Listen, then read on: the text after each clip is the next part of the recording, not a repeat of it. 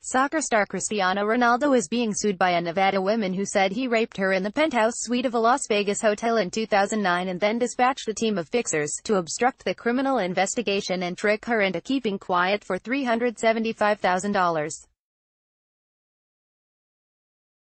The suit says the woman asked police last month to reopen the criminal case. Las Vegas police confirmed to the Associated Press on Monday that they have reopened a sexual assault case from 2009 brought by the woman named in the lawsuit.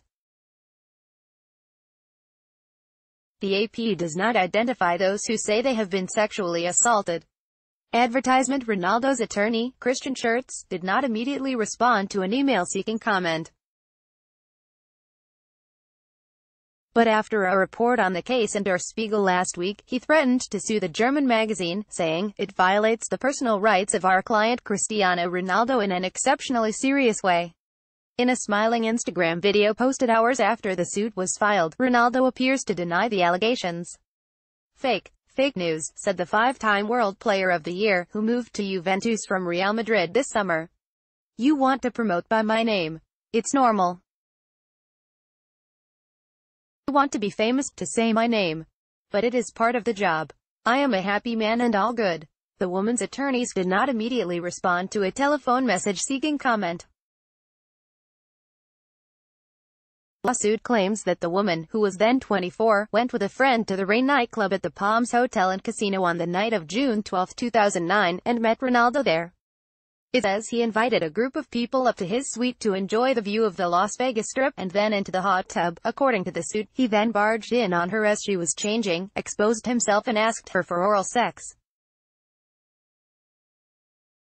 When she refused, the lawsuit claims, he raped her. According to the lawsuit, and confirmed by police spokesman Aden Ocampo Gomez to the AP, the woman named in the suit reported the attack to police the same day. Ocampo Gomez said she also asked for a sexual assault test, which was performed at the University Medical Center.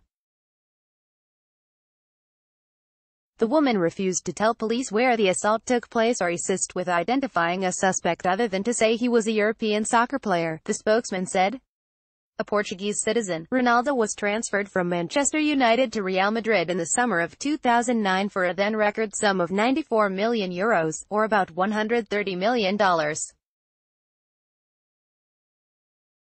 As of now this is an ongoing investigation and no further details are being released at this time, Ocampo Gomez said. The lawsuit claims that the woman's family arranged for a lawyer, who only had several years of legal experience. Negotiations left her with intrusive thoughts, an increased sense of extreme anxiety and fearfulness, complete helplessness and passivity, the lawsuit says. The psychological trauma of the sexual assault, the fear of public humiliation and retaliation and the reiteration of those fears by law enforcement and medical providers left plaintiff terrified and unable to act or advocate for herself, the lawsuit says. The lawsuit also accuses Ronaldo or those working for him of battery, intentional infliction of emotional distress, coercion and fraud, abuse of a vulnerable person, racketeering and civil conspiracy, defamation, abuse of process, breach of contract, and negligence for allowing details of the confidential settlement to leak out. It asks for general damages, special damages, punitive damages and special relief, each in excess of $50,000, along with interest, attorney fees and court costs.